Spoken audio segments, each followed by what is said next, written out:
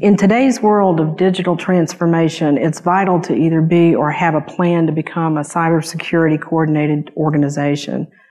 In other words, an organization that addresses cybersecurity activities at every level. You know, the IT side, the operational technology, and the vendor technology.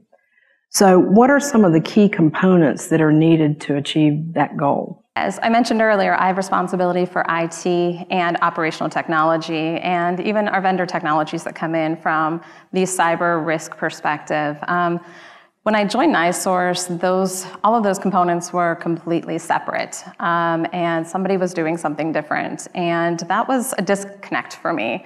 I really felt as if they should be centralized for a consistent response. Um, and so over the past four years, we've created an internal cyber team that focuses on IT, OT, and the vendor components. Um, I, would say that it's allowed us to be very effective and efficient. Um, our incident response um, times have, have, gone down tremendously.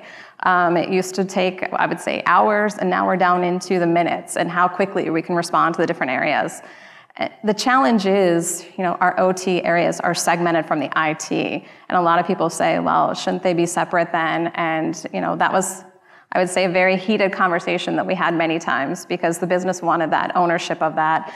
Um, but we really had some some really deep conversations about are your folks actually trained cyber professionals? Do they understand how to handle a situation?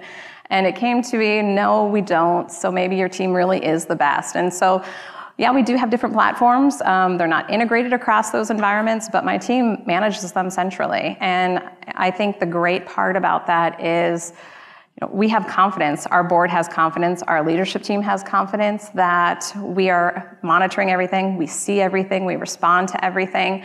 Um, and I would say that our business and even our customers feel a lot more secure and safe because we have that centralized visibility now